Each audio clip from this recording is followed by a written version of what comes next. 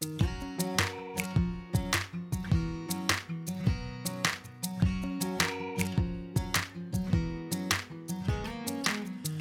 get my mind away from thoughts of you. Two weeks ago today, you were just the girl I drew. And now I think it's time that we decide. Lovers or friends, and we would be fools not to follow what our hearts suggest. Buongiorno, oggi vorrei parlare di un argomento a volte sottovalutato, quello della gestione del cane anziano, che troppo spesso si pensa non avere diritto a prevenzioni o cure perché ormai vecchio. Frequentemente eh, in ambulatorio mi sento replicare dai proprietari dei loro cani che non ne vale la pena o ehm, poverino non me la sento di farlo soffrire. L'aspettativa del cane negli ultimi anni, come per gli esseri umani, è notevolmente aumentata. La sua vita media oggi si aggira eh, sui 18 anni per le razze di taglia medio-piccola e anche sui 15 anni per eh, le taglie più grandi. Eh, questo grazie alle migliori condizioni igienico-sanitarie in cui vivono i nostri animali e a un'alimentazione più corretta. Nell'età anziana che si aggira intorno quindi ai 7-8 anni si deve pensare di modificare alcune abitudini per garantire una vecchiaia serena.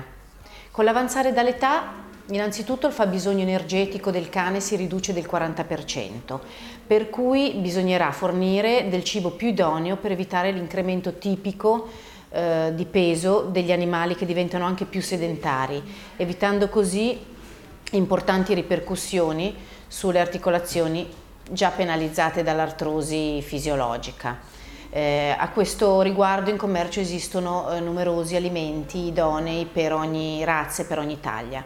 Un'altra accortezza importante è quella di non sospendere l'esercizio fisico del vostro cane per mantenere una buona tonicità muscolare e per ridurre la comparsa di osteoporosi e di artrosi articolare. Il sistema nervoso del cane anziano subisce una riduzione neuronale, il che comporterà una ridotta risposta agli stimoli, un calo dell'udito, un calo della vista, fino ad arrivare a delle vere e proprie modifiche comportamentali.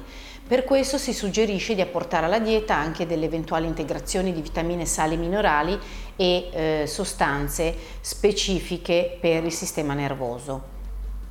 Anche l'apparato digerente potrà risultare più predisposto a problemi, partendo dal cavo orale ad infiammazioni, soprattutto da tartaro, quindi gengiviti, eh, e poi ridotta capacità digestiva dello stomaco, diminuita secrezione della bile a livello del fegato, con conseguente diminuzione della capacità di metabolizzare farmaci e tossici. I reni colpiti dal processo di vecchiamento ridurranno la capacità secretoria delle scorie dell'organismo, l'apparato cardiocircolatorio anche lui può subire delle alterazioni con a volte, conseguenze a volte anche gravi. Pertanto occorre prestare particolare attenzione alle esigenze del vostro cane non più giovane, curando l'alimentazione, cercando di prevenire l'insorgenza di patologie con esami del sangue e controlli periodici dal veterinario. Grazie e arrivederci al prossimo consiglio del tuo veterinario.